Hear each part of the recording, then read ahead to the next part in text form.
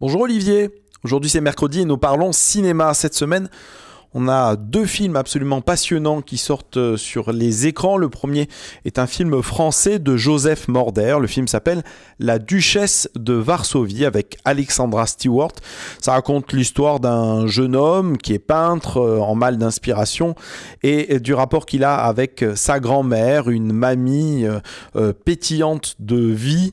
elle n'a jamais vraiment raconté son expérience concentration elle est rescapée euh, des camps et euh, le film raconte le moment où justement elle se livre à son petit-fils. C'est un film euh, passionnant de, par son interprétation, par ce qu'il raconte, mais également par sa forme, Olivier, parce que ce film est un formidable hommage au cinéma, alors au cinéma des parapluies de Cherbourg ou au cinéma d'un Américain à Paris ou plus largement des films historiques de Méliès, puisque euh, ce film comprend deux personnages et tous les autres personnages, tous les décors sont des décors peints sur toile, euh, comme on faisait euh, au début de l'histoire. Et ça donne une atmosphère absolument incroyable, une espèce de Paris de rêve. Hein. On ne sait pas si on, est dans un rêve ou dans la réalité.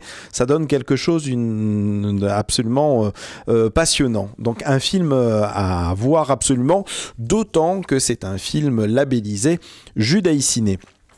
Et puis euh, un autre film, alors là pour le coup, euh, qui est vraiment un des grands coups de poing de cette année du cinéma, c'est un film israélien de Keren Yedaya. Rappelez-vous, Olivier, elle avait signé Jaffa et plus précédemment Mon Trésor.